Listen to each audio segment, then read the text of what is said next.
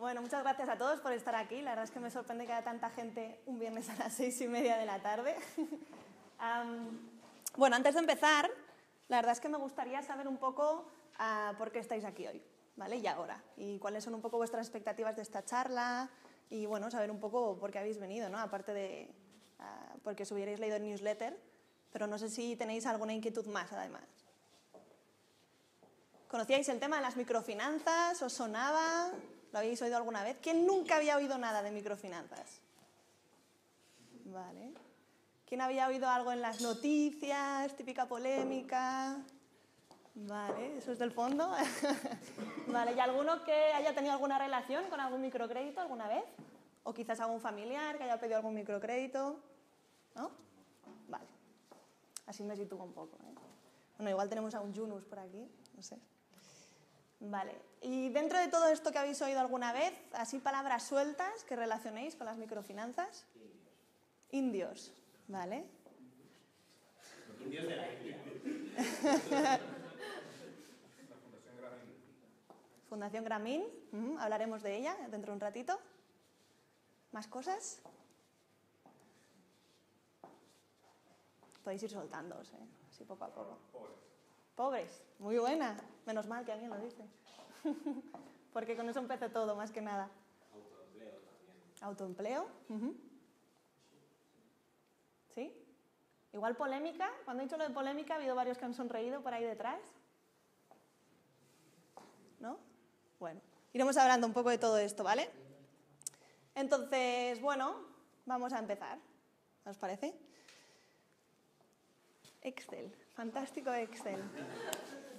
Bueno, como decía en el newsletter, ¿vale? Eh, prácticamente toda la charla va a estar basada en un Excel, ¿vale? Entonces, um, lo intentaré hacer lo más dinámico posible. Como veis, al final el objetivo es ir sacando los retornos de la inversión, toda una serie de variables. Que no, que os he vacilado, que no. no os asustéis, no os asustéis. Es que normalmente cuando digo a la gente, no, yo trabajo en microfinanzas, y se me quedan mirando en plan, pues tampoco pareces tan friki, ¿no? Típico financiero. Pues mira, yo cuando voy a charlas normalmente me gusta presentarme, me gusta un poco decir quién soy, de dónde vengo, qué he hecho y por qué trabajo en este ámbito, ¿vale? Porque no es muy común. Y aparte, cuando yo voy a charlas, me gusta que el ponente se presente y que me diga quién es, porque, bueno, te sitúas y entiendes por qué te cuenta lo que te está contando, ¿no? Soy de Zaragoza, ¿vale? Nací ahí y a los 18 años me vine a Barcelona a estudiar la licenciatura y el máster en Dirección de Empresas con ESADE, ¿vale? Tuve la suerte del intercambio del máster del MBA hacerlo en Hong Kong, estuve ahí viviendo seis meses. Lo explico porque este fue mi primer contacto con la industria financiera, ¿vale? Con la industria de los servicios financieros en general. Ahí conocí a bastantes brokers y, bueno, gente de las altas finanzas, digamos. Pero bueno, se quedó como una mera experiencia de estudios. Estos dos tipos, ¿qué creéis que tienen en común? Los dos llevan gafas, exacto. Una camisa. Ah, no, este la lleva vaquera más bien, pero sí. Os doy pista, ¿verdad? ¿Ambos prestan? Mm, no exactamente, pero puede ir. Este tipo es Angelo Trota, ¿vale? Es el director de marketing para Zurich, España. Trabaja en la Vía Augusta, aquí en Barcelona.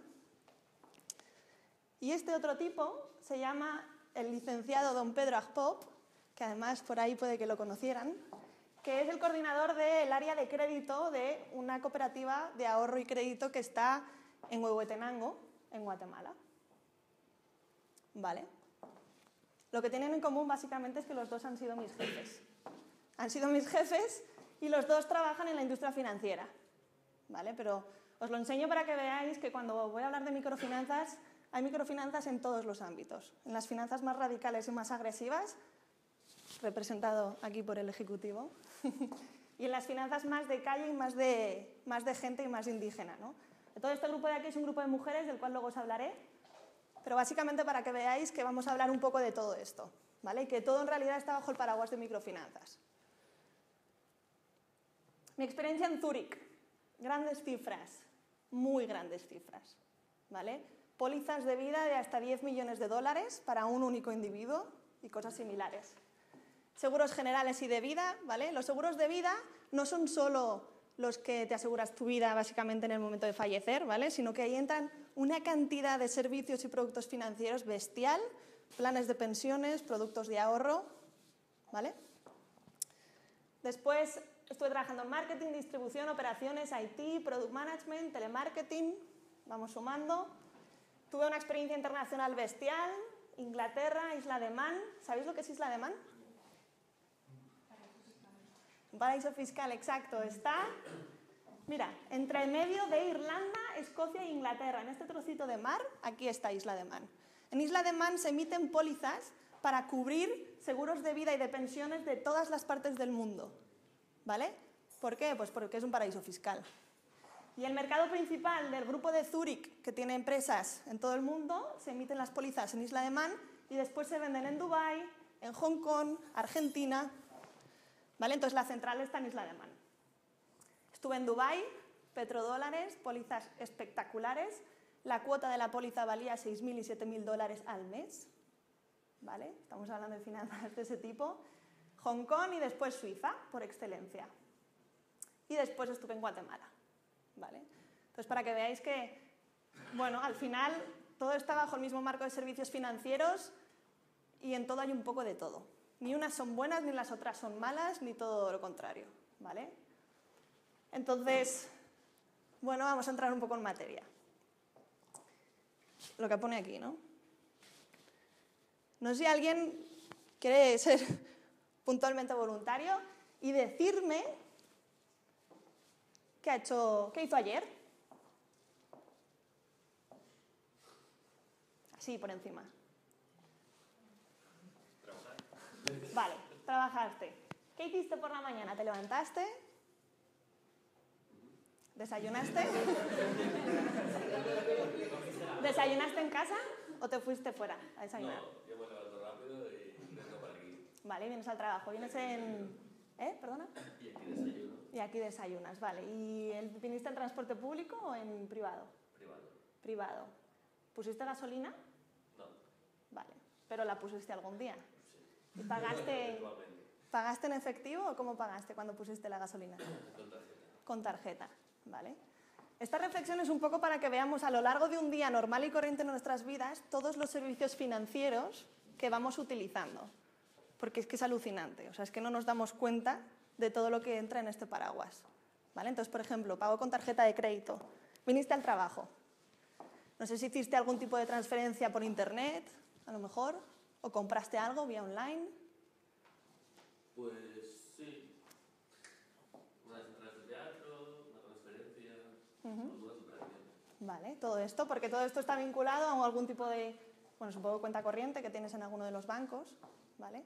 Pero es que pensadlo, o sea, un solo día vuestro normal y corriente, todas las veces que tenéis contacto con un banco, ¿vale? Es alucinante. Entonces, cuando hablamos de microfinanzas, hablamos realmente de exclusión financiera, ¿vale? Entonces, básicamente, son servicios, las microfinanzas, que lo que quieren es evitar la exclusión financiera, ¿vale? Y en realidad, al final, lo que quieres es mejorar la calidad de vida de la gente y su desarrollo. Entonces, bueno, estos son unos datos del Banco Mundial que hablan de por qué la gente está excluida a nivel financiero. ¿Vale? Entonces, simplemente me gustaría resaltar datos como, por ejemplo, el 59% de los adultos en economías emergentes están excluidos financieramente. ¿Vale? Aquí están catalogando que toda persona que está excluida financieramente es que no tiene una cuenta corriente. ¿Vale? Aunque en realidad el concepto es mucho más amplio, va mucho más allá relacionado con la rentabilidad financiera de una persona. ¿Vale? Pero bueno, aquí lo catalogan como simplemente que no tienen una cuenta corriente. ¿Vale? Más datos. El 55% de los prestatarios en economías emergentes usan formas informales de crédito. Ahí incluid usureros, ¿vale? Todo lo que no son instituciones financieras como tal. El 55% es, es muchísima gente. ¿Vale? Así, bueno, este dato, claro, por eso lo puse en círculo. El 11% en economías de altos ingresos no tienen una cuenta corriente. El 11%. Bueno, a mí me pareció bastante llamativo. Más. Diferencias regionales en temas bancarios. En Latinoamérica y en el Caribe, ¿vale? Solo el 19% de la gente tiene una tarjeta de crédito, ¿vale? Y en el resto de- del mundo emergente, el 5% nada más. ¿Vale? Son un poco datos para que os vayáis situando en todo lo que estamos hablando. Y en realidad, todo el potencial que tiene el mercado y toda la industria de las microfinanzas. Porque al final el objetivo es que toda la gente que está excluida pueda estar incluida. ¿Vale? Entonces es para que veáis todo el recorrido que debe de tener. Y bueno, en Europa y Asia Central, el 61% utilizan cuentas corrientes para recibir sus salarios. El 61 nada más. ¿Vale? Hay un 39 que no sé cómo lo cobrará. En, en- en sobres, por ejemplo. Exacto. ¿Vale? Y en el resto de países emergentes apenas el 32% reciben el dinero en cuentas corrientes. Pensad que por lo general recibir el salario en cash es arriesgadísimo porque al final te lo dan en el trabajo y luego te tienes que ir a tu casa y que no te roben por el camino. ¿Vale? Eso para empezar. Más temas, exclusión financiera. Este es un mapa que a mí me gusta mucho porque es muy visual y básicamente te dice los millones de habitantes que hay en los países coloreados que están excluidos a nivel financiero. ¿Vale? Entonces, clicamos aquí. Es un mapa dinámico. Vaya. ¿No? Antes funciona. No sé qué irán pasando. Bueno, vosotros sabréis. Ah, vale, sí. Ah, vale. Bueno, más o menos, así ya sirve. Vale. Entonces, mira, Rusia, 32 millones de personas no tienen una cuenta corriente. China, 562 millones de personas. India, que antes decían por aquí India, 393. Y a mí me gusta el plato este. 19 millones en Estados Unidos de personas que no tienen cuenta corriente. En España no hay datos. Pero sí que te puedo decir te puedo decir cifras de hace unos cuantos años, de aproximadamente un informe que salió en el, en el 2004, creo que fue. Claro, esto fue antes de la crisis. Pero decía que el 20% de la población española estaba considerada que vivía por debajo del umbral de la pobreza. ¿Vale? Lo que pasa es que, bueno, eh, hace ya bastante de eso y, bueno, todos oímos las cifras del paro en España, etcétera, etcétera, o sea que te puedes hacer un poco la idea. ¿Vale? Pues eso, para que veáis la cantidad de gente que recibe el dinero en cash. A ver, ¿cómo vuelvo al...? Disculpa, ¿eh? Esto es Max, no, no te preocupes. Es que cada uno es diferente. Vale.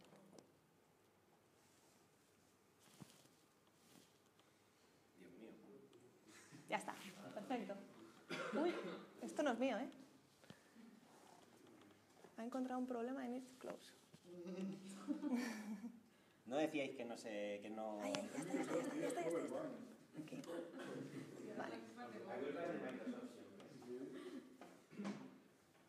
A ver. Ay, antes he saltado una slide, pero bueno. No importa. Vale. Entonces, ¿para qué sirven las microfinanzas? Bueno, básicamente, ¿qué son, no? Entonces, bueno, se llegó a una definición que coincidía en todos los participantes en esta conferencia. Pero bueno, yo sé que las microfinanzas se utilizan en un término mucho más etéreo y mucho más amplio, ¿vale? Pues bueno, decían que los microcréditos son programas de concesiones de pequeños créditos a los más necesitados de entre los pobres para que estos puedan poner en marcha pequeños negocios que generen ingresos con los que mejorar su nivel de vida y el de sus familias. ¿vale? Esto es lo que se pactó en la Conferencia Internacional sobre Microcréditos en Washington en el 99. Pero bueno, también decir que la gran mayoría de estos participantes eran gente en entidades sin ánimo de lucro. ¿Vale? Lo que pasa es que las microfinanzas en realidad engloban algo mucho más grande, porque ahora, por ejemplo, en la Unión Europea se define que los préstamos de menos de 25.000 euros para generar emprendeduría son microcréditos. Entonces, es un término bastante amplio, ¿vale? Pero bueno, cuando hablamos de las microfinanzas, las más románticas, digamos, se dedican a erradicar la pobreza, ¿vale? Principalmente. Entonces hay un libro que es este de Marcelo Abad, que además por aquí lo conocen, que fue el director de Intervida después de la intervención, ¿vale? que escribió este libro que se llama Microcréditos a la préstamos a la dignidad, que es muy interesante, además va definiendo las diferentes tipologías de microcréditos en base a relatos, en base a anécdotas, historias que a él le han pasado en terreno y que le han pasado aquí, porque él ha hecho también programas de microfinanzas en España. Entonces los llama que hay diferentes categorías, ¿vale? Unos que son contra la pobreza, otros que son microcréditos para el desarrollo, ¿vale? Luego los microcréditos para la inclusión, que son sobre todo para gente que está en riesgo de exclusión. Es decir, por ejemplo, aquí un presidiario que sale de la cárcel, yo creo que te va a tener bastantes dificultades para ir a la caixa y que le den un préstamo. Por ejemplo. No hace falta ser presidiario, exacto. Claro, de hecho es que ahora excluidos financieramente estamos prácticamente todos en realidad, pero bueno, hablamos de, de la exclusión más, más clara. Lo mismo con mujeres que han sufrido malos tratos, mujeres que nunca han tenido un empleo fuera de casa, no tienen ningún tipo de aval, no tienen generación de riqueza propia, ¿vale? Entonces esta gente necesita microcréditos utilizados para la inclusión. Después de la autoocupación, que hablaremos de esos más tarde también, y microcréditos para emprender, está claro, ¿no? Para gente que quiere montar pequeños negocios, que solo necesita pues unos pocos miles, unos dos mil, tres mil, para empezar un pequeño negocio y, empezar a caminar. ¿no? Y luego para el empoderamiento de la mujer. Y es que el tema es que en la gran mayoría de los países emergentes, sobre todo, están totalmente excluidos del sistema financiero, simplemente por ser mujeres. Aquí en España hace 30 años una mujer no podía ir al banco y abrirse una cuenta ya sola. Necesitaba la autorización de su marido o de su padre. Aquí. ¿Cuántos años? Hace 40, pues 40. 40. ¿vale? Entonces imaginaros en el resto de países emergentes. Porque aparte otro dato, el tema es que el 90% de los ingresos que tiene una mujer lo reinvierte en la familia, mientras que los hombres, ¿cuánto creéis que reinvierten los hombres en su familia? Entre el 30 y el 40%. ¿Vale? Entonces, en todos los programas de microcréditos que son para salir de la pobreza y para potenciar el desarrollo, normalmente se elige a la prestataria la mujer, porque se supone que reinvertirá más en su propia familia que no el hombre. ¿Vale? Y estos son datos verídicos, no me lo invento yo. Pues básicamente se trata de mis finanzas para crear valor social.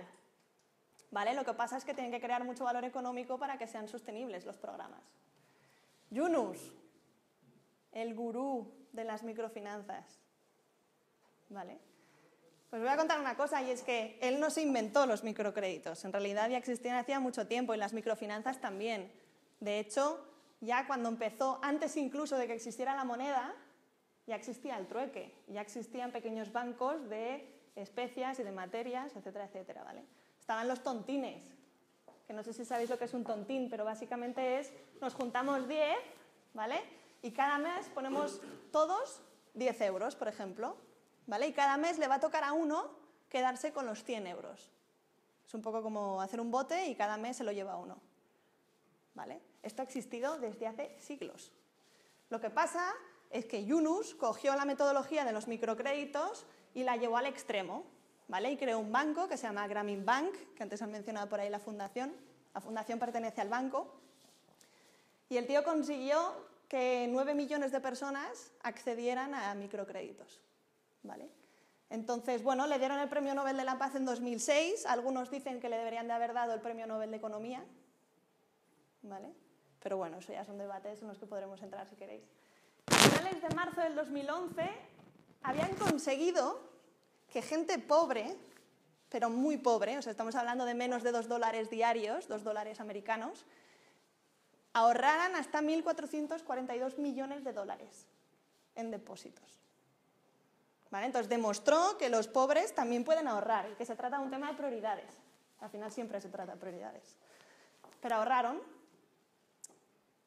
8,4 millones de miembros, su banco. ¿Vale?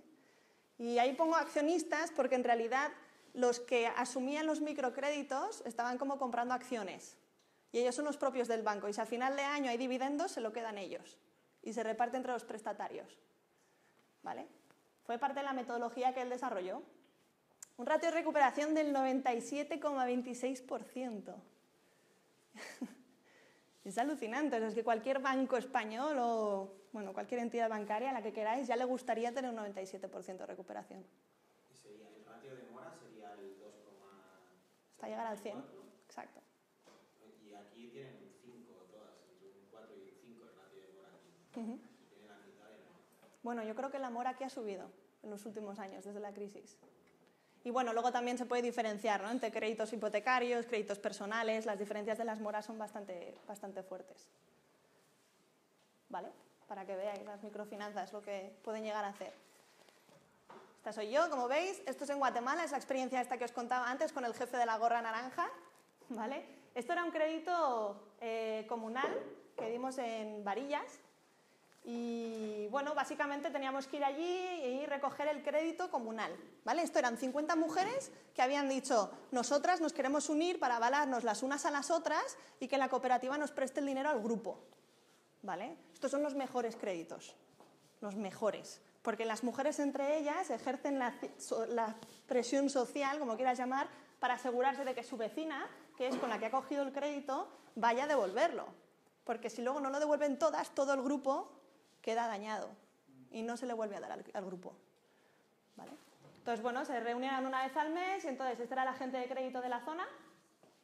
Se reunía el grupo, se veía qué tal habían ido sus negocietes, ¿vale? Estamos hablando de cría de cochinos, de panaderías, cosas bastante ah, primarias. Y bueno, estas son las microfinanzas más eh, indígenas, que digamos. Esta era un grupo de mujeres que estaban haciendo la cría de cochinos. Entonces, imaginaros, yo fui a esta cooperativa porque el 90% de los créditos que tenían en la cartera eran créditos agrícolas. Y dentro de estos créditos, el 60% eran créditos para el café. ¿Vale? ¿Cuántas cosechas se hacen de café al año? Aquí lo sabéis. Una. ¿Vale? Entonces tienes que invertir toda la pasta, tienes que tener el mejor clima para dentro de un año recogerlo y si puedes venderlo a un precio decente ganar algo de pasta. ¿Vale? Entonces es muy problemático, aparte que la cartera la tienes totalmente arriesgada. Lo que hay que hacer es diversificar, bueno, ya sabéis, ¿no? Las si pones todos los huevos en la misma cesta, mal. Entonces me cogieron por banda y me dijeron, mira, queremos equilibrar la cartera de microcréditos y que la mitad sea para créditos a empresas y la otra mitad lo que tenemos ahora. Entonces yo tuve que ir por la zona a conocer qué tipo de microemprendedores había y realmente qué tipo de necesidades tenían. Así que ya me veis a mí yendo a hablar con todas estas mujeres para entender cómo funciona la cría de cochinos. ¿Cuánto tiempo tienes que darles de comer? ¿Cuánto cuesta el pienso? ¿Cada cuánto los pueden vender? Si es que los quieren vender, porque no sé, igual, no sé, igual los querían para cría propia. ¿Vale? Entonces, lo que tienes que hacer cuando das un microcrédito es conocer a la perfección el negocio que estás financiando, para que luego puedas adaptar los flujos de liquidez y te lo puedan dar realmente a tiempo. ¿Vale? O que establezcas unos plazos que realmente son realistas con lo que esta gente está pagando. ¿Vale? Esto era una cantera, como sabréis, yo tampoco tengo, como os podéis imaginar, ni idea de canteras, ¿vale? A estos tíos lo que les había pasado era que había habido unas lluvias torrenciales y se había caído media montaña, ¿vale? Y había dejado sumergida un coche y una maquinaria. Entonces nos llamaron a la cooperativa y dijeron, oye, nos ha pasado esto, necesitamos otro crédito de unos 1.500 dólares, creo que pidieron, para poder sacar toda la arena y poder recuperar la maquinaria y poder seguir trabajando. Estos lo que hacían era vender la tierra a las autopistas, al Estado, para hacer autopistas. ¿Vale? Entonces, para hacer una buena concesión del microcrédito tienes que ir allí, ver lo que está pasando, si es verdad, eso para empezar. Si realmente ha pasado lo que ha pasado, conocer la maquinaria que han perdido, ¿vale? Ir allí y, bueno, básicamente hablar con ellos y ver si es verdad lo que está pasando y no y cómo te lo van a devolver, ¿vale? Otro caso curioso. Después de, no sé, creo que fueron seis horas y media de camioneta por en medio de la selva, con unas cuantas complicaciones técnicas en el coche, llegamos a una pequeña aldea, que debían de ser unos 150 más o menos, llegamos a esta cabaña. Y entro en la cabaña y me encuentro esto. Ordenadores nuevos de Dell en perfecto estado. Había como unos 20. ¿vale? Básicamente, lo que había hecho uno de los líderes de, de los jóvenes del pueblo, me dijo, yo quiero que toda mi comunidad tenga acceso a Internet. ¿Vale? Dijo, entonces, ¿necesito pasta? ¿Sí? ¿Didi? Pues funcionó, funcionó. Y el tío dijo, quiero montar 20 ordenadores y pequeños talleres para que la gente del pueblo tenga acceso a Internet. Porque queremos saber qué es lo que está pasando por ahí fuera. ¿Vale? Total, que compró los ordenadores y le dijimos, bueno, ¿y cómo nos vas a devolver el crédito? Dijo, voy a, pagar, voy a cobrarles muy pequeñas cuotas por cada taller. Y con este dinero de las cuotas, pues vamos a ir devolviendo los ordenadores. Pero claro, también se tenía que comprar un generador. Entonces también le dimos la pasta para comprar el generador, porque ahí no llega la electricidad. ¿Vale? Entonces, para que veáis todo lo que se puede hacer con microcréditos dentro del ámbito rural. ¿Vale? Para que os familiaricéis simplemente. ¿Tienen teléfono entonces? Móvil. Teléfono móvil. No hay red fija casi nunca. ¿Sí? Vale. Entonces, dentro de los microcréditos y las microfinanzas, yo me gusta clarificar, bueno, me gusta hacer como dos agrupaciones, ¿no? Si alguien nos dice, yo trabajo en microfinanzas, normalmente la gente dice, ay, qué bueno, trabaja en microfinanzas, o qué bien, trabajo para el desarrollo, pero es que hay mucha mierda dentro del mundo de las microfinanzas, mucha, ¿vale? Entonces, a mí me gusta separarlo entre microcrédito, que son pequeños préstamos que generan sobreendeudamiento, donde hay corrupción y donde hay una serie de problemas muy complicados, ¿vale? Los que han generado muertes y suicidios en la India, en Bangladesh, ¿vale? Experiencias bastante dramáticas.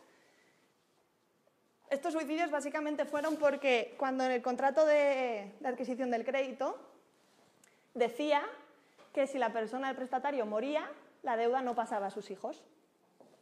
Entonces, están totalmente sobreendeudados, con una mora bestial, mucha presión por parte de las microfinancieras que les había dado la pasta y se suicidaron. Así la familia quedaba exenta de la deuda. ¿Vale? Han pasado cosas similares en España también recientemente. Pero bueno. Entonces tenemos ese colectivo, ¿vale? Y luego está lo que a mí me gusta llamar las microfinanzas con mayúsculas, ¿vale? Y finanzas, no crédito, ¿vale? Hablamos de todo tipo de soluciones financieras, microseguros, micropensiones, ahorro, microleasing, Al final si solo le das la pasta es un problemón, porque imagínate, este tío de los ordenadores, le das la pasta, perfecto, al mes hay una tormenta bestial y le destroza la casa y los ordenadores. ¿Qué haces con este tío? Coño, véndele un microseguro, ¿sabes? O incorporarle una pequeña cuota dentro del préstamo y que tenga con un seguro. Y esto se hace. De hecho, en México, uno de los proyectos en los que estoy involucrada con Zurich fue un seguro muy chulo que venía en una tarjeta así de pequeña, como un rasca y gana, ¿vale? Y era un seguro para el coche. Porque en, en México se dieron cuenta de que había muy poca gente que en realidad utilizara el coche todo el año y esa misma persona.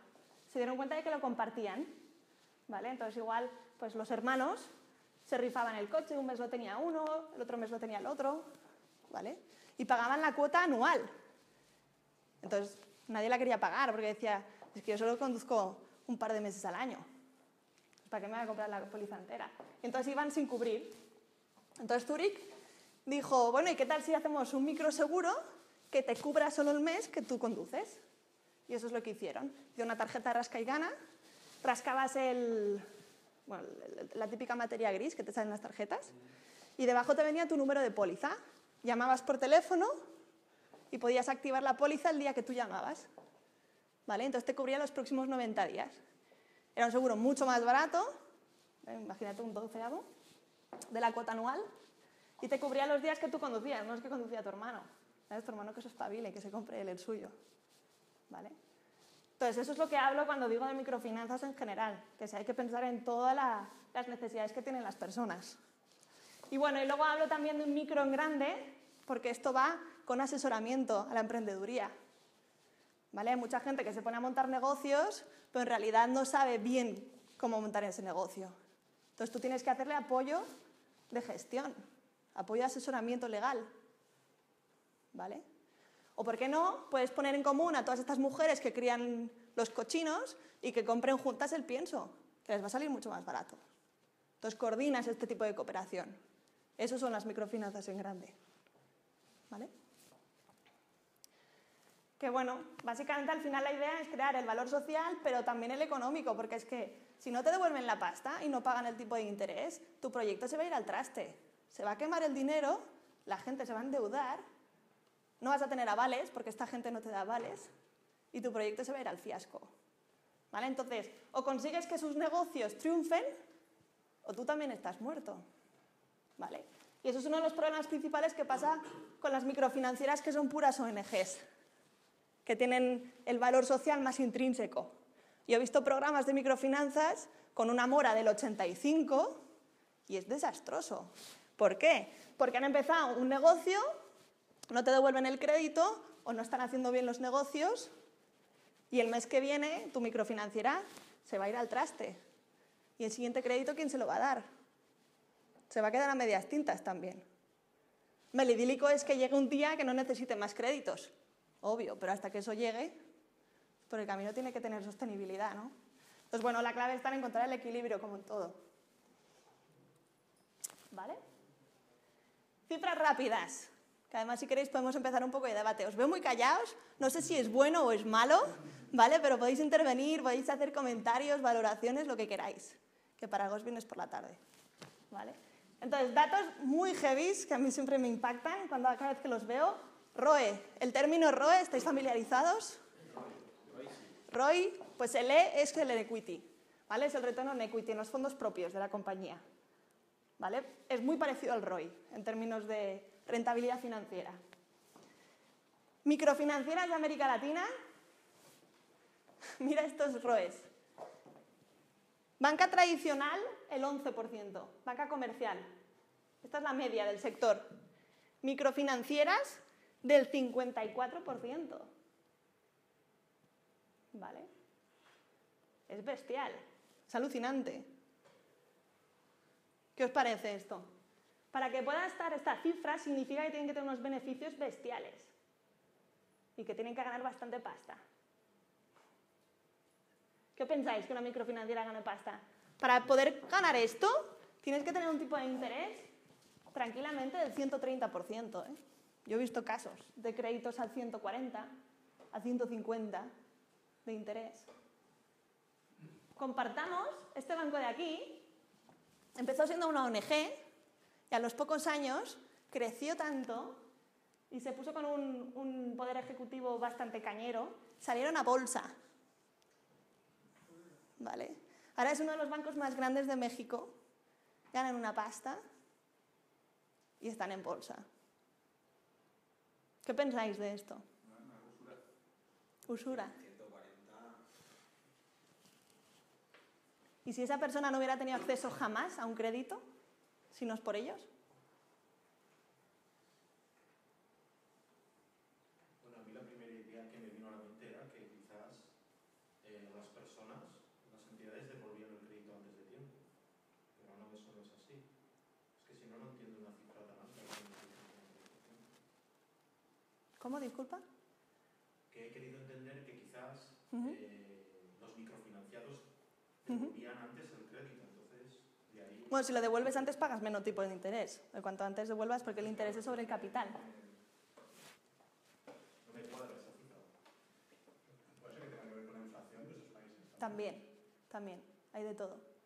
El 140% básicamente es eso, es gente que llega a un nivel de préstamo, que la gente se fía de ellos y cobran eso. ¿Por qué? Porque el usurero del pueblo cobra 160. También es un oportunismo bestial. O sea, si sabes que tú eres el único que, que vas a poder dar el dinero y, y va a ser la única forma de financiación, pues tú te agarras a un clavo ardiendo si quieres llevar a cabo tu proyecto. O sea, es que al final es como, es como un oportunismo muy, muy, muy heavy. O sea, Ujú. Mucha gente que opina esto, por eso hay tanta polémica. Es oferta y demanda. O sea, si, si realmente hay usureros, o sea, si, si lo pones más barato que el usurero, pues ya está. Si, la única manera de combatir es ofreciendo el servicio. bueno, pero si tampoco no es mucho más barato que el usurero, también puede haber llegado a un. Ya, pero este no te rompe las piernas, ¿eh? Didi, no hace falta Y que... me sorprende que el que monta el workshop ese cabaña Ujú. con 20 ordenadores de él, que todos sabemos lo que vale Ujú. y que es un bien de- del mundo occidental que es caro Ujú. y él va a recibir unas cuotas que son minúsculas del tercer mundo. ¿cómo puede pagar el 140% de ese? O sea, tendría que ver un Excel para creerlo. No eso, pero... El Excel del principio, ¿no? Si quieres luego vuelvo. Pongamos, no sé, estamos hablando de una inversión, 20 ordenadores fácil, 25.000 euros, ¿no? Sí. Fácil. No, allí no. Cuenta a 20.000 es igual. Estamos hablando que es una millonada para ellos, 20.000 euros. Ujú. Al 140% de interés a no sé cuántos años, porque tiene que recibirlo. O sea, aquí estamos hablando, un euro como mucho. O sea, el chino de aquel lado vale un euro, ¿no? ¿Él a cuánto lo debe cobrar? Ujú. No sé de qué espacio temporal estamos hablando, o, pero tendría que ver en Excel para creerlo, la verdad. Algunos de los créditos se devuelven cada semana. Se pueden hacer pagos de devolución cada semana. Algunos son mensuales, algunos son al año. Los de cafetales son al año, por ejemplo. Tiene que ver con el negocio que estás financiando. Lo mejor es financiar negocios de empresa porque la liquidez es mucho más alta. Los agrícolas tienen el problema de la liquidez. ¿Vale? Entonces, bueno, en el caso de los ordenadores, yo te puedo decir que ese hombre estaba pagando el 16%. ¿Vale? Pero porque la cooperativa era una cooperativa agrícola, terrenal, que los fondos iniciales con los que empezaron venían de la Comisión Europea, de fondos de ayuda a la cooperación internacional. ¿Vale? Entonces ellos tenían los fondos gratuitos, digamos. A las microfinancieras tienen que pagar los fondos que les originan, de dónde vienen ellos, ¿vale? Que algunos en el mercado interbancario, pues, no sé si conocéis, pero pueden ir desde 6, 7 hasta 20%. ¿Vale? Luego tienes que pagar la inflación del país, tienes que pagar la corrupción, tienes que pagar los costes de un tío que te va en la moto seis horas o siete bajo la lluvia con toda la gasofa hasta que te da el crédito. ¿Vale? Hay muchísimos gastos dentro de un programa de microfinanzas. Pero sí, tenéis toda la razón. Hay mucha usura también. En estos países lo que se utiliza mucho estos créditos o la usura es para comprar eh, zapatillas, o sea, bienes que capaz acá no, no se saca un crédito. O sea, no va a una financiera uno para comprar una zapatilla o para irse de viaje unos días. Ujú. En cambio allá es muy común, o sea, yo soy de Argentina y por ahí para irse una semana van y se piden en una financiera y que le cobra el 80 o el 100, el 120%. Ujú. De hecho, en Brasil, por ejemplo, todas las tiendas, lo más normal es que pagues a plazos todo. O sea, no es como aquí que, hostia, pagas todo de golpe. No, Todo, desde unos zapatos, una lavadora, cualquier cosa, te pagan todo. En Argentina es muy común hoy en día que conviene más, eh, tenés con tarjeta de crédito, tenés un descuento del 20 o el 25% sobre el precio. O sea, te sale más barato comprarlo con tarjeta de crédito que comprarlo con efectivo. Te financia un 10, un 11% el banco y el resto en la casa de electrodomésticos. Ujú. O sea, la gente mira los, el diario o el periódico los sábados para ver qué, qué oferta sale en la casa electrodoméstica. Ujú. Y así compraron LCD y DVD, o sea, es la forma de acceder al, a los bienes. Sergi. Se manejan tasas que, que acá son una locura, pero eso allá es común. O sea, estos números, el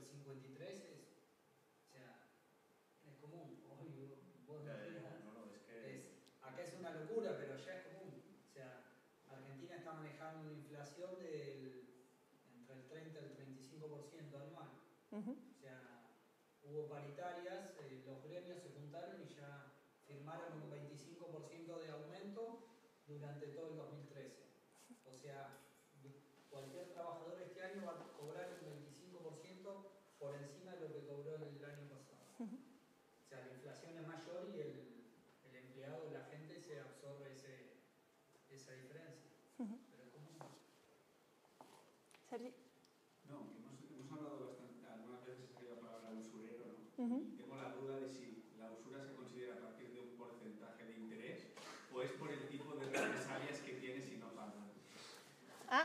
ahí a cada uno. Hay una definición, ya supongo.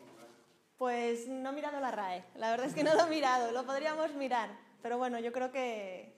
Porque si es a partir Que de es un concepto. creo que hay un montón de gente ¿no? que, que Ujú. se podría considerar y en principio es ilegal. Pero, pero siempre, yo lo que veo es que si había un porcentaje tan alto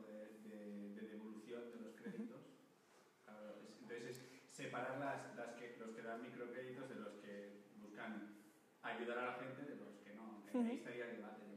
Sí. La verdad es que es tan amplio todo este universo que hay de todo. Pero bueno, yo he visto casos de, de corrupción bastante elegantes, ¿vale? Y bueno, también mencionar que el tipo de interés normalmente nos llama mucho la atención, pero tenéis que pensar que los absolutos sobre los que estamos trabajando son muy pequeños. O sea, no es lo mismo un 50% de 10 euros, ¿vale? que son 5 euros al final, que un 50% de 100.000. ¿vale? Los absolutos al final son tan bajitos que por eso el porcentual es tan disparado.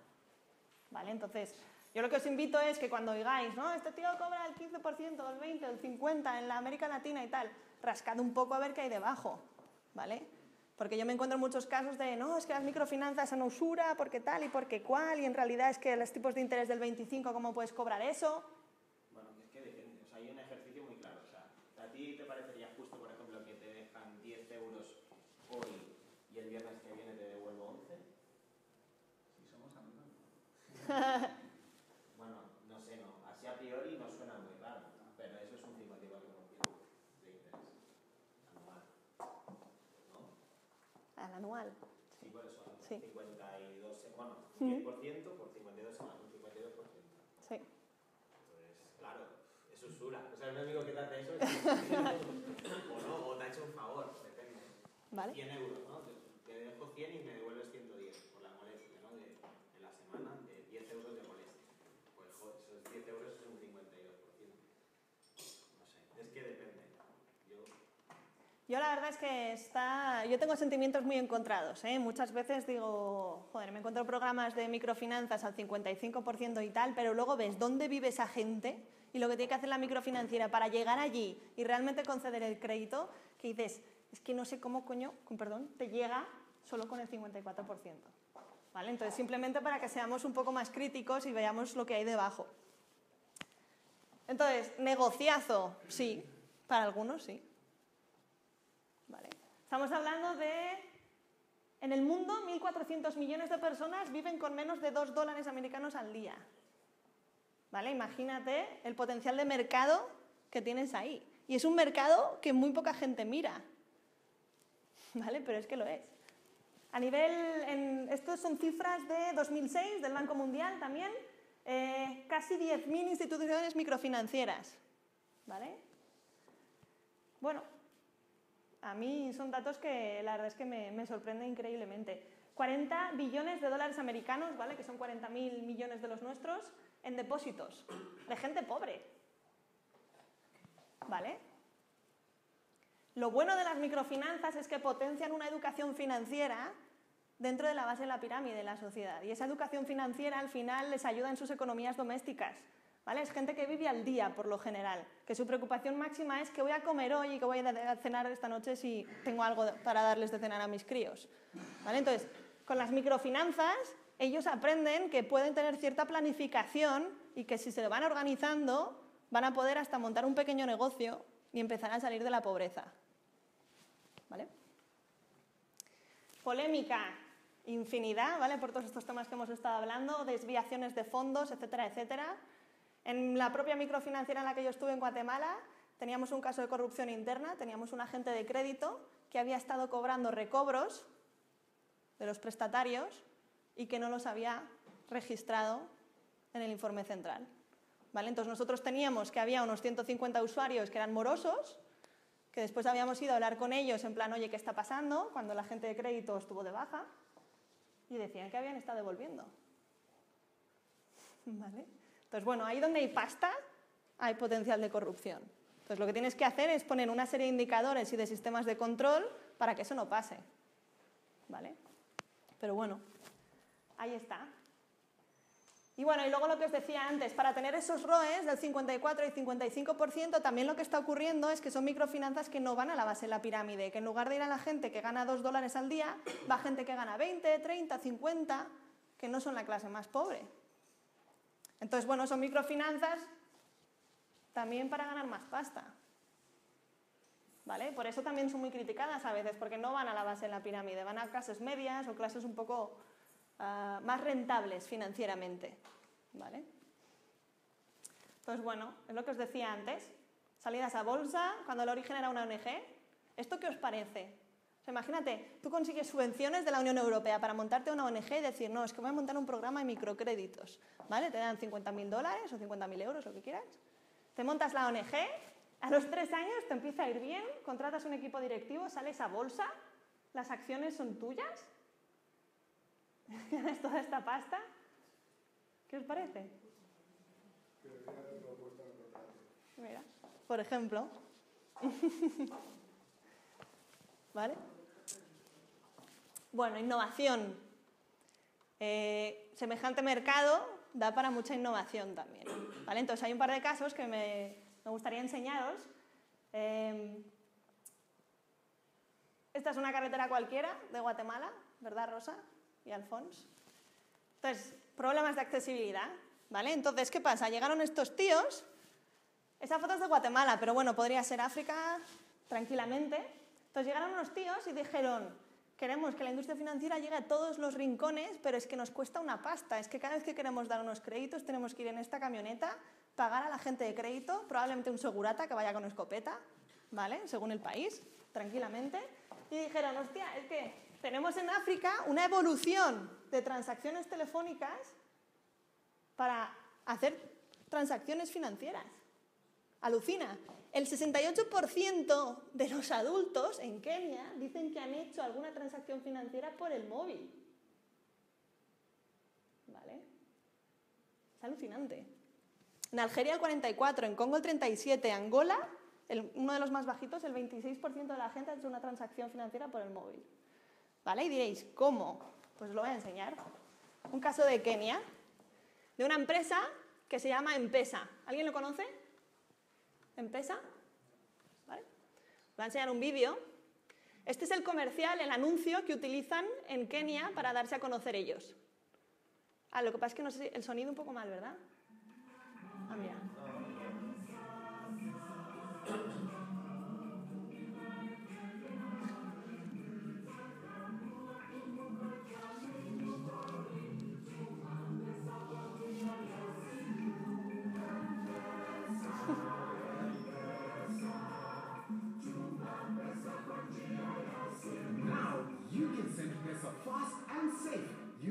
Safaricom's new service, M-Pesa.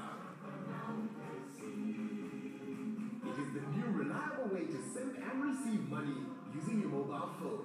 Visit your nearest M-Pesa agent today. Terms and conditions apply. 14 millones de usuarios en Kenia utilizan M-Pesa para enviarse pasta unos a otros. Normalmente siempre los jóvenes de las comunidades van a las ciudades y tienen ya un trabajo, si han conseguido tener una educación eh, pues es un poco más eh, de tipo ingeniero comercial o cosas similares, se van a las ciudades. Pues lo que están haciendo es ellos trasladan, bueno, transfieren dinero a sus familiares en las comunidades a través de SMS. ¿Vale?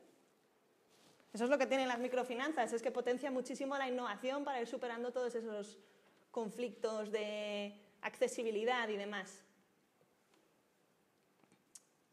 Y luego también os quiero enseñar otro ejemplo de innovación que se llama Kiva. Madre mía. Espera. Kiva igual lo conocéis. ¿Alguien lo conoce, Kiva? ¿Te suena? Es el préstamo que se llama peer-to-peer, ¿vale? Es que en realidad... Sí. Vale, el peer-to-peer es un préstamo, ¿vale? Estos tíos dijeron, los de Kiva, dijeron, el típico problema de las microfinancieras es seguir consiguiendo más fondos, fondos madre, digamos, ¿vale? Fondos con los que luego ellos utilizan para distribuir los microcréditos. Y dijeron, hostia, pues lo que podríamos hacer es innovar y montar una plataforma online en donde la gente de Occidente y de países desarrollados puedan hacer préstamos directos a emprendedores que están en países de desarrollo, ¿vale? Entonces yo tengo 20 euros y en lugar de donarlos a una ONG, que también lo podría hacer, lo que voy a hacer es prestárselos a un tío que está en África y que va a montar una granja. Y se los voy a prestar. Y dentro voy a elegir el plazo y puedes elegir dentro de 5 meses, de 12, quiero que me devuelvas el crédito. ¿Vale? Entonces son microcréditos peer-to-peer que se llaman. Y lo montaron estos tíos que se llaman Kiva, que son, están en Estados Unidos. A ver. ¿Vale? Os invito a que, la, a que la veáis cuando tengáis tiempo. Bueno, ahora... Es que está... Aquí, ¿no? El... Vale. Lo que pasa es que... mm, Han cambiado la web. bueno, da igual. Sí. Es que no encuentro el vídeo. No sé si está en How Does It Work. Pues no. Tienen un vídeo explicativo bastante potente. A ver. Aquí. The Story. Creo que es este. Sí, debe ser. This is Pedro, and this is Pedro's family. They live in Bolivia. Together, they run a small family business, farming coffee beans, just like the ones you're drinking now. Pedro used to have two cows that helped him plow a field. One of the That means Pedro can only plow half the amount he used to. That means Pedro can only sell half the amount of coffee beans he used to, and his income has been cut in half. Pedro now has just barely enough money to feed his family and can't afford to buy a new cow. This is Kiva. Kiva is a website where people like you can lend money to people like Pedro. Say you decide to lend $25. Your $25 goes from you to Kiva to a microfinance institution near Pedro and is used to fund a small part of a loan that they've made to Pedro. When a hundred people like you all lend $25, the loan is fully funded. With this loan, Pedro can buy a tractor and grow 10 times as many coffee beans as he did before. Pedro can repay his loan to you in no time. Once you get your money back, you can choose to relend it to someone else on Kiva or withdraw your money. And as simple as that, you've helped a family halfway around the world, and it didn't cost you a dime. ¿Es sin interés, IVA? Es con interés. Te devuelven el dinero con interés. Según el plazo que tú eliges, de cuándo quieres que te devuelvan los 25 dólares, te dicen qué tipo de interés te toca. Más o menos cuánto es. Pues la última vez que lo miré eran bastante bajitos, en comparación con las microfinancieras tradicionales. Del 3, 3,5. Ujú. Pero vamos, que te- estamos hablando de 25 euros, ¿eh? Bueno, ellos se quedan una parte, ¿no? De, de lo que tú... De la transacción. Sí, Pues la verdad es que no sé cómo se mantienen ellos. claro, es que si no, no tiene, no. Ujú. Pero bueno, Kiva es una ONG, ¿vale? Bueno, eso tampoco no... A veces sale trama también. Sí, desde luego. Pues deben tener condiciones más beneficiosas, casi siempre. Comunitae, en España lo conoces, Sí. se puede considerar eh, como una iniciativa, o es una iniciativa empresarial para ganar dinero, pero, Ujú. pero realmente cubre una función social o tal como está diseñado. Vamos a hablar de eso. Tengo luego unas transparencias Ah, preparadas. Vale. Si no te importa, Sí, sí, sí. ¿sí? Así explico luego también de qué se trata, Comunitae, cómo funciona y tal, ¿vale? Pero es muy parecido a esto. Lo que pasa es que en lugar de ser financiar de aquí al tercer mundo, financias de aquí a aquí. ¿Vale? Es como yo te financio a ti. Ah, lo que pasa es que es, individualizado. Claro, en lugar de invertir en proyectos. Y no es, no es exactamente lo mismo, porque esto es, es un préstamo. El crowdfunding no es un préstamo. ¿Vale? Luego hablaremos de esto. ¿Vale? Entonces, simplemente como ejemplos de innovación, que mucha gente dice, bueno, las microfinanzas tampoco hay mucha chicha ahí dentro. Y yo digo, uff, no sabes. A ver. Vale. Eso. ¿Y qué dice la Unión Europea? Pues bueno, os lo he contado un poco, pero básicamente hasta hace muy poquito, hasta antes de la crisis, no había ni siquiera un posicionamiento claro sobre lo que la Unión Europea pensaba en torno a las microfinanzas. ¿Vale? Había sido siempre una iniciativa enfocada sobre todo desde el sector social, las ONGs de manera independiente.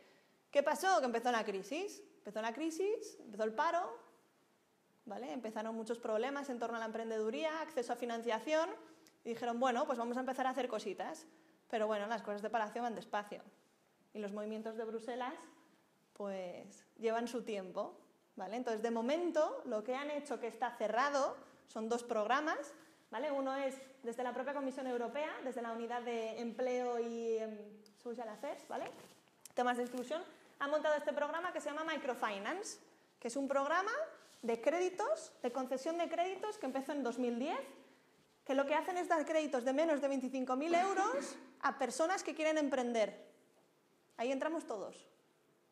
¿Vale? Esto no es específico para gente excluida a nivel social.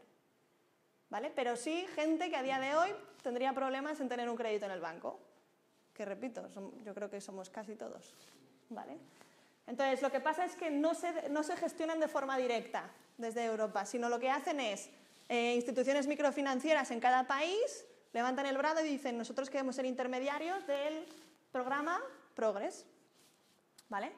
En España solo hay una entidad dada de alta y están en Murcia. ¿Vale? ¿Por qué? Porque son programas poco populares, donde las entidades intermediarias no ganan prácticamente nada. ¿Vale? Entonces, ¿solo hace una entidad microfinanciera desde una vertiente mucho más social o no lo va a hacer? Y luego el otro programa que hay es este, que es del Fondo de Inversión Europeo.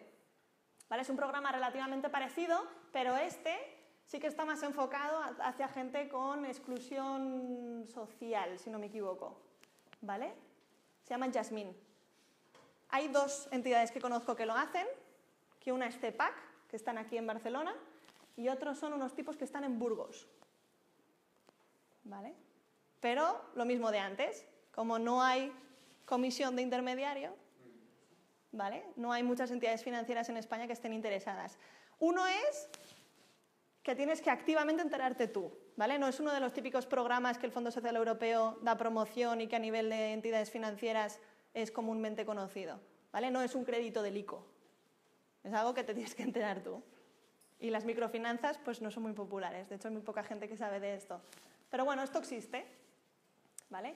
Y ahora se está hablando de que a nivel europeo se están haciendo planes para crear un fondo de inversión social, ¿vale? Que se dedicará a la inversión de emprendimientos, de gente en desempleo, etcétera, etcétera. Pero todavía están en negociaciones para ver si realmente sale adelante o no. ¿Vale? Y bueno, ahora he preparado un pequeño juego. ¿vale? Hemos hablado de las microfinanzas a nivel internacional, hemos hablado de la Unión Europea y ahora vamos a hablar de lo que pasa en España. ¿vale? Entonces, bueno, utilizo este formato alguna vez. Yo he pensado que era bastante idílico para una charla así más informal. No sé si hay algún voluntario que le gustaría participar como concursante. Hay comodín del público y del 50-50. El del teléfono no vale. Si no, lo hacemos entre todos, ¿eh? no pasa nada. Si no hay ningún valiente. ¿No? ¿Nadie se anima? Bueno. Pues entre todos, va. A ver, ¿quién empezó a fomentar los programas de microcréditos tal y como los conocemos a día de hoy para luchar contra la exclusión social y financiera en España? ¿Vale? Ah, bueno, por cierto, no lo he dicho. Aquí tenemos eh, los premios de la noche, ¿vale? Tenemos, empezamos con una cerveza y el que llega hasta arriba, la barra libre, ¿vale? Ah, el gobierno ve las cajas de ahorros de las fundaciones privadas o de Yunus. A ver, manos arriba, ¿quién piensa que es la A? La B. B, 30, 40%. La C. Uy, no sé si hay un empate aquí. ¿Y un Yunus? He de deciros que Yunus es muy amigo de la reina Sofía. Que lo sepáis. ¿Vale? Estamos en 50-50. Hay fundaciones privadas, cajas de ahorros. Pues las cajas de ahorros. ¿Vale? Mm, no exactamente. No exactamente. Por imperativo legal tenían que tener obras sociales que tenían que hacer eh, de cara a la sociedad y generar el bien común, pero no tenían la obligación de cómo hacerlo. Se lo podían haber gastado en servicios asistenciales. Lo que pasa es que ellos dijeron, bueno, vamos a hacer microfinanzas con esta pasta. Empezaron en el siglo XIX, con los montes de piedad. ¿Vale? Así empezaron. Lo que pasa es que al principio, sobre todo, sí que utilizaban eh, el aval, utilizaban bienes, joyas, pequeñas pertenencias, ¿vale? Más que nada para que existiera ese vínculo entre la persona que estaba tomando el microcrédito y la entidad, ¿vale? Después empezaron... eh, ¿Quiénes vinieron después? Perdona, que ahora no me voy a acordar. Primero fueron las cajas de ahorros. Sí, luego empezó un crédito del ICO, ¿vale? Que dijeron que se podían eh, asociar al ICO eh, las entidades financieras que quisieran tramitar microcréditos utilizando fondos del ICO. Esto fue en el 2002.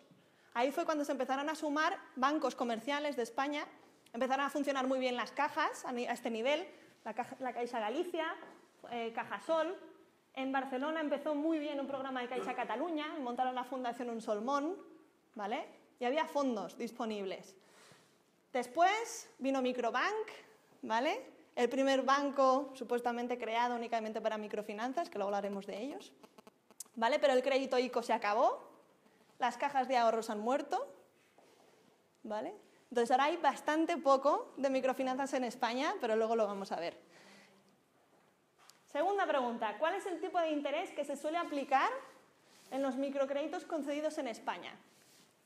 Del 0,5, el hipotecario al 5 y el resto al 8, C entre el 4 y el 7 y el D de media al 12. ¿El 12? ¿Quién opina que el 12? ¿Vale? Bueno, yo creo que por mayoría, ¿no? Pues estáis equivocados todos. Entre el 4 y el 7% de media, ¿vale? Los microcréditos destinados a gente excluida socialmente. Microcréditos a prostitutas, a expresidiarios, a mujeres maltratadas, ¿vale? Estamos hablando de las microfinanzas más románticas, digamos. Ese es el tipo de interés que se les está cobrando a día de hoy. De media. ¿Cuál es el tipo de interés que se estima se tendría que cobrar para que un programa de microfinanzas fuera autosostenible en España? Microfinanzas con mayúscula. Asesoramiento legal, acompañamiento social. Pensad que las mujeres maltratadas y todos estos colectivos necesitan apoyo de educadores sociales. ¿Vale? Un programa de microfinanzas con mayúsculas tiene que costear todo eso. ¿Vale? El 40%, el 25%, el 25% que sube al 30% TAE si incluimos comisiones, o el 7%. ¿Qué pensáis? ¿El 40%? A ver, el 40%, levanta la mano. ¿Vale? Cinco personas. ¿El 25%? Oye, tú no puedes votar dos veces. ¿No? vale. Eh, 25-30 TAE. ¿Sí? ¿Y el 7%? ¿Con el 7 tú crees que es autosostenible? Podría ser. Podría ser. Igual lo que hay entre medias que se lo todo. Ojalá, ojalá. Pues he de deciros que es el 30 TAE. Se estima, se estima, porque ni siquiera se ha ejecutado. ¿Vale? ¿Por qué? Porque cada programa de microfinanzas es un mundo. O sea, depende 100% de tu colectivo de prestatarios. ¿Vale? Entonces, a día de hoy, los programas que hay de microfinanzas de este estilo tienen un colectivo de 150, 300 prestatarios más o menos. Son programas muy, muy focalizados. ¿Vale? Y depende mucho de si tienes a un expresidiario que tiene toda una carrera profesional anterior y antes de ir a, la prisión, que tiene una formación académica, etcétera, etcétera, que no si estás trabajando con una exprostituta que jamás ha tenido una formación universitaria, etcétera, etcétera. ¿Vale? Porque estos créditos son para que ellos generen pequeños negocios. ¿Vale? Pues simplemente. Hay que... Es complicado, pero se estima que en torno al 30%.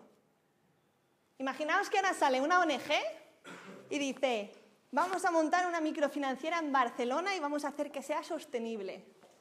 Y sale en prensa, cobran el 30% de interés.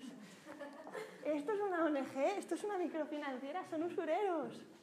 Bueno, pues ahora, ¿eh? Cofidis, pues sí, Cofidis es en torno, depende, depende, pero por ahí va. 30, 40, pero Cofidis no ofrece acompañamiento ni educadores sociales, no ofrece asesoría legal para tu negocio. Solo te. Exacto, el cobrador del frac. ¿Vale? Entonces, bueno, ahora vosotros sabéis que si cobran el 25 o el 30% TAE, igual no son tan usureros. ¿Vale? Lo digo porque es un tema muy polémico y muy fácil de entrar a la polémica.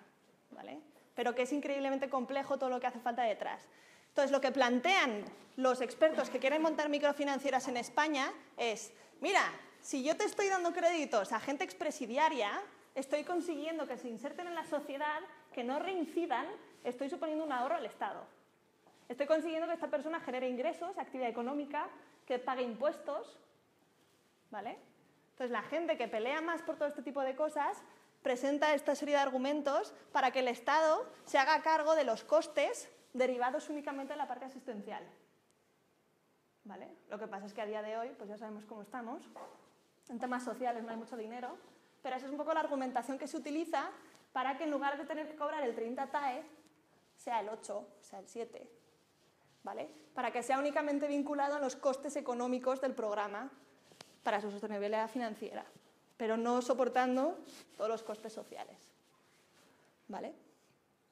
Más. En 2009, ¿qué porcentaje de los microcréditos entregados por Microbank corresponden a los denominados microcréditos sociales? Es decir, a todos aquellos que están excluidos socialmente. El 6%, el 90%, el 25,4% o el 53,15%. ¿Cuál, perdón? ¿La C? 25, ¿alguien más apoya al chico de la segunda fila? Por ahí tienes apoyos. ¿Otro más? ¿B? ¿Vale? ¿B? ¿Nadie cree que la B? ¿Y la A? Qué poca fe tenéis en Microbank. ¿No se supone que es el banco social de la Caixa? Efectivamente el 6%. ¿Vale? Ellos se definen micro porque dan préstamos pequeños. Pero para mí lo que hacen no son microfinanzas. Este 6% sí. Pero todo lo demás es un banco normal y corriente. ¿Por qué dicen ellos que son sociales? Porque no piden aval. Y es verdad. Dan préstamos a emprendedores y a gente como nosotros, que no estamos excluidos socialmente, pero sí financieramente, y no piden un aval. ¿Eso es social?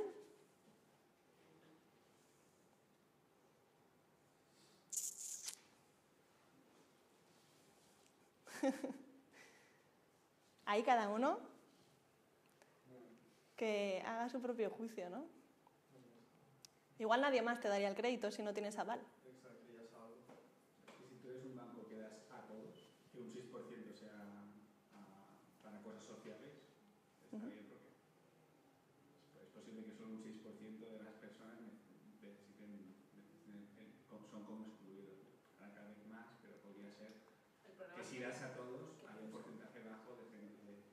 Yo siendo pesimista, he hecho 25%, un 6%, ya te digo. Pero el problema es que lo utilicen como, como un discurso para... Bueno, es lo que te digo. El 100% es sin aval. ¿Eso es social o no? Nadie más te lo daría, ¿eh?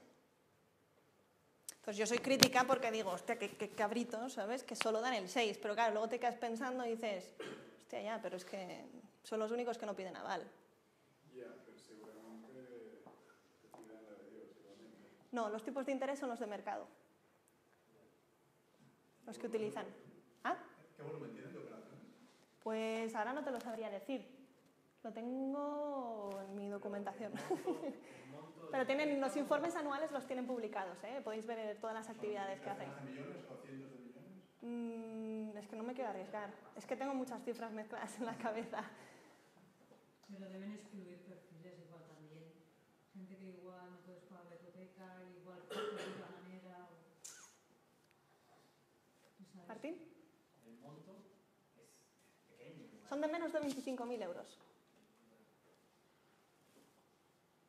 Tampoco es un riesgo.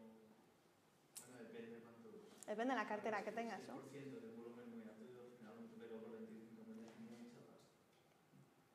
Si no me equivoco, es que además sale... Luego creo que tengo un pantallazo en el que sale el volumen de, de créditos dados. Luego lo miramos, ¿vale? Entre 2001 y 2009, ¿a cuánto asciende la cifra entregada de microcréditos para la exclusión social en España? En ocho años se han dado 213 millones de euros, 9.730 como BRAC. BRAC es una microfinanciera que está en Bangladesh, originaria en Bangladesh, que ha accedido a prestatarios en 10 millones de países, tiene eh, 102.000 empleados, ¿vale? o C, 153 millones de euros, o D, 10.012 millones de euros.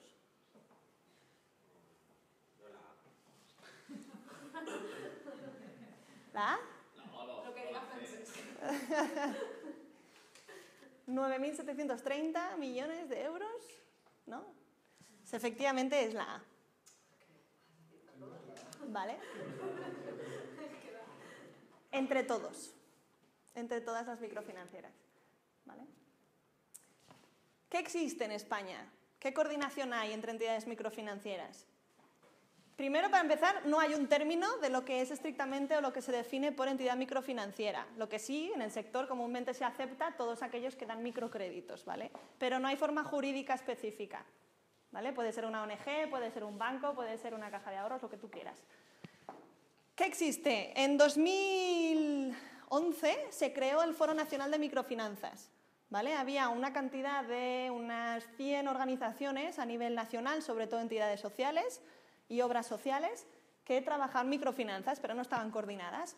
Entonces, cuando empezó la crisis, todo empezó a acuciar, dijeron, ostras, cada día tenemos a más gente llamando a nuestra puerta pidiendo créditos, pero no tenemos fuerza, no tenemos fondos, las obras sociales se caen y ni siquiera sabemos cuántos somos.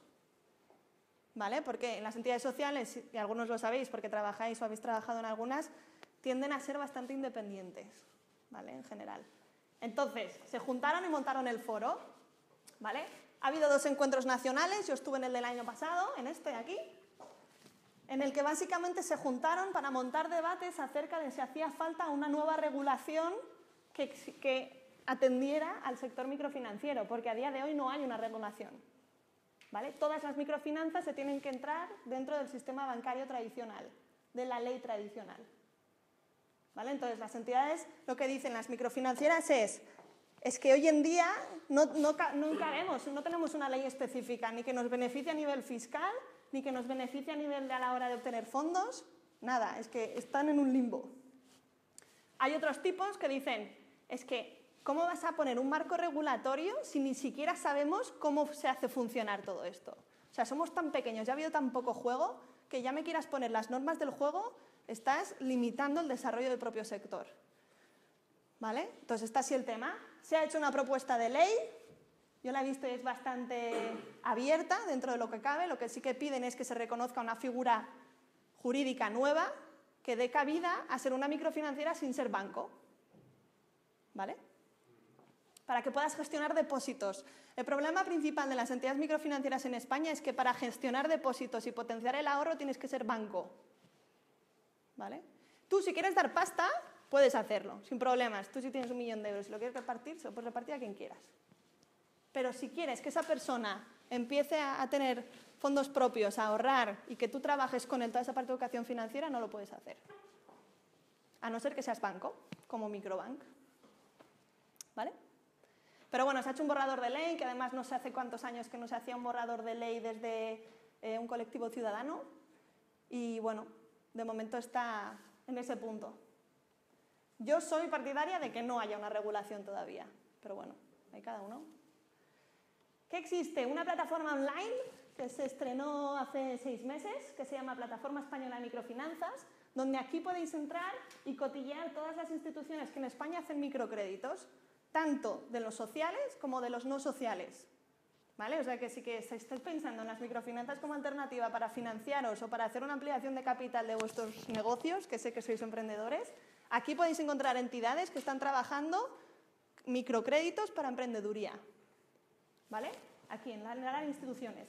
Por ejemplo, esta chica, esta mujer, eh, ha montado un centro de eh, servicios de atención a domicilio, ¿vale? Para gente anciana, para ancianos y demás. Temas de canguros, etcétera, etcétera y ha financiado su negocio con un crédito de una institución de estas.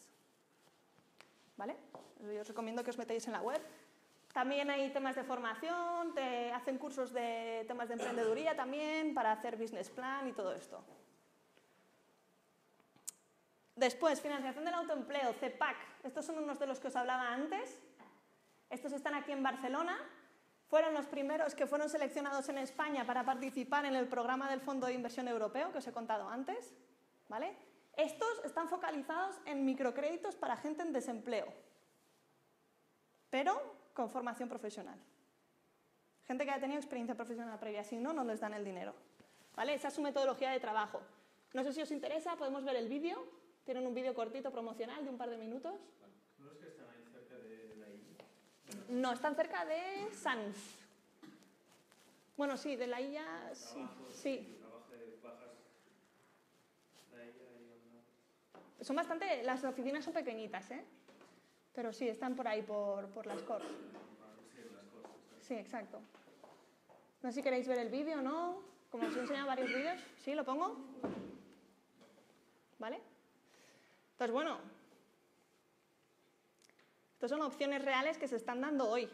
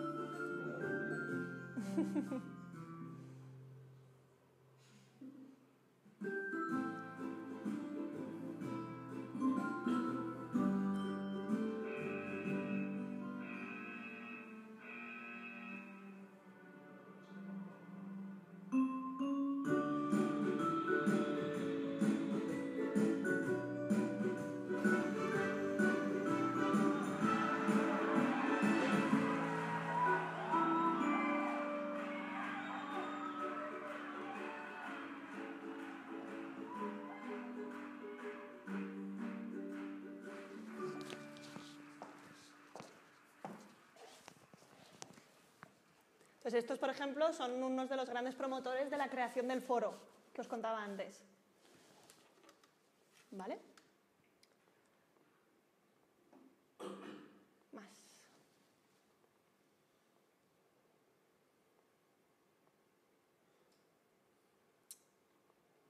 Esta sincronización no va muy allá, ¿eh? vale. El microbank. A ver. eh. No, aquí. Vale. Eh, lo que hablamos antes, microbank. No sé si está el dato. Mira, aquí. Mil millones de euros en microcréditos. En acumulado. ¿Vale? Si os metéis aquí en la web salen todos sus productos. Tienen microcréditos para empresas, tienen microcréditos hipotecarios, aunque en realidad no sé qué puedes comprar con 25.000 euros, pero al menos ayuda, ¿no? Eh, me gustaría poneros este vídeo también, sé que he puesto un par de vídeos, pero eh, es un reflejo porque, bueno, yo creo que son dos personas que además son muy amigos de mi hermano, que de hecho me sorprendió un montón cuando ayer estuve mirando el vídeo y dije, hostias, es Abel, es Abel y es y son bueno, muy buenos amigos de la universidad de mi hermano. Entonces ellos pidieron un crédito a Microbank para hacer una reforma de un local donde tenían montado su negocio, donde tienen montado su negocio, que es creativos. Ellos son diseñadores industriales.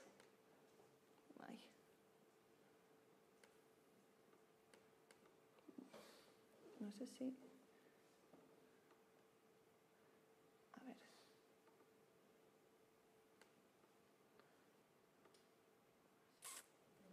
Sé. Bueno, es que yo tampoco soy muy buena ¿eh? con estas cosas.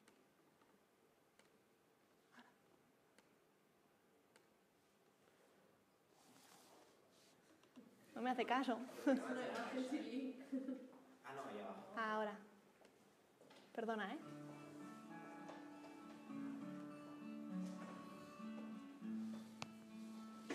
Nosotros somos dos creativos, somos un estudio de diseño estratégico, de diseño gráfico e industrial, somos dos socios. Empezamos hace varios años, tanto Abel como yo teníamos nuestro trabajo y luego por las tardes nos juntábamos y íbamos haciendo proyectos como freelance. Esto poco a poco se fue haciendo cada vez más grande hasta que decidimos buscar nuestro propio espacio.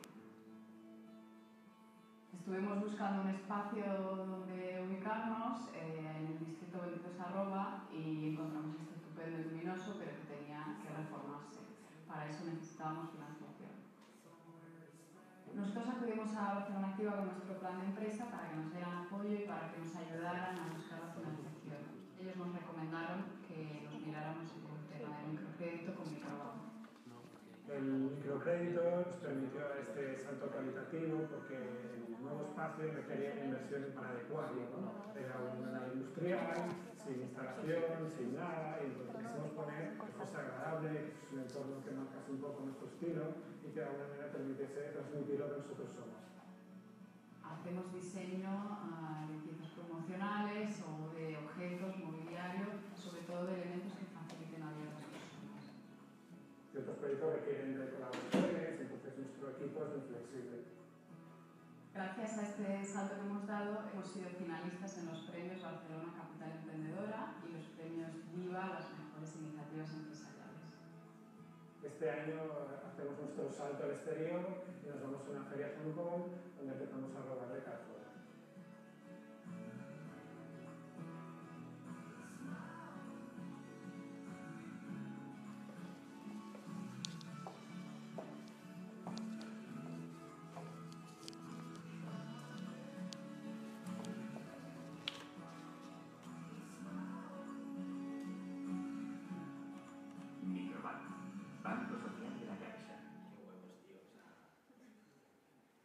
¿Vale? Entonces, hoy